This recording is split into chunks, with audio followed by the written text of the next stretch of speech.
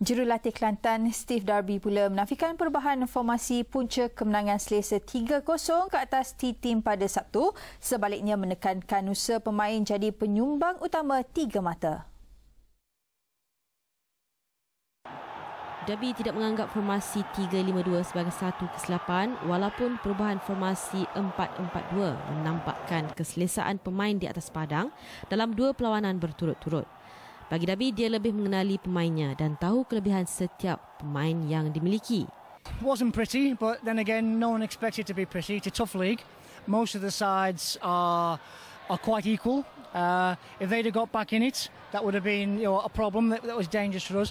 Kerajinan pemain jadi penyebab kejayaan tiga mata penuh Kelantan di Stadium Sultan Muhammad keempat selain melabelkan Fakri Saarani, Farisham Ismail dan Khairul Fahmi Cipmat sebagai pemain yang paling menyelah pada Sabtu. Sementara itu, Azraiko Abdullah akui kelonggaran pertahanan dan jentera serangannya tumpul jadi penyebab T-Team pulang dengan tangan kosong. Rasa bagi tu loose sikit. Uh, so nampak gayanya uh, dalam break dua minggu ni kita kena banyak buat homework lah. Oleh kerana sekarang ni kita tadi datang pun dengan uh, back kanan seorang je. Aksi pada Sabtu Kelantan raih tiga mata penuh selepas benam T-Team 3-0 di Kota Baru.